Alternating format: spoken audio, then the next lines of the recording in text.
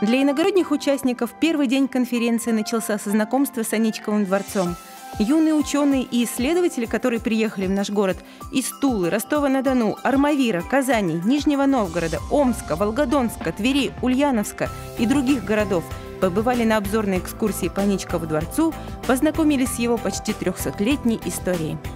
После экскурсии всех гостей конференции ожидало знакомство с выставкой технического творчества коллективов Санкт-Петербургского городского дворца творчества юных и физико-математических лицеев номер 30 и номер 239, а также технических достижений наших партнеров, научно-производственного предприятия «Радар ММС», информационного центра по атомной энергии в Санкт-Петербурге, инженерно-консалтинговой компании «Ирисофт».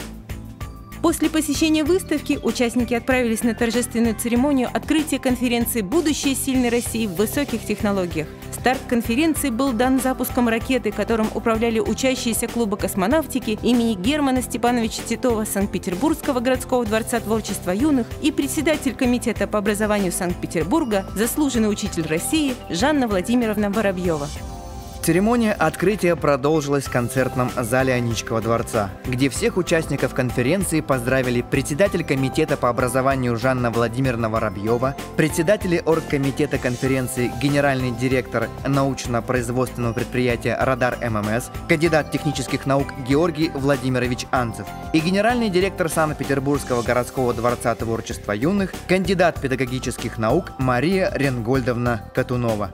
С приветствием от всех представителей науки к юным ученым выступил директор физико-технического института имени ИОФ Российской Академии Наук, член-корреспондент Российской Академии Наук, лауреат премии Совета Министров СССР, доктор физико-математических наук, профессор Андрей Георгиевич Забродский.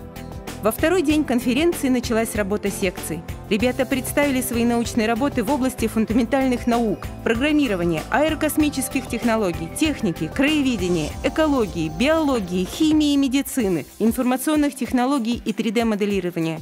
А ученые, члены компетентного жюри, прослушав, выбрали лучшие из них, но об этом чуть позже. После тяжелого дня научной работы, докладов и дебатов участников конференции ждал приятный сюрприз. Сегодня днем они посетили уникальную экскурсию в государственной корпорации по атомной энергии «Росатом». Благодаря нашим партнерам у участников появилась возможность своими глазами увидеть новейшие научные и технические разработки на примере объектов Росатома.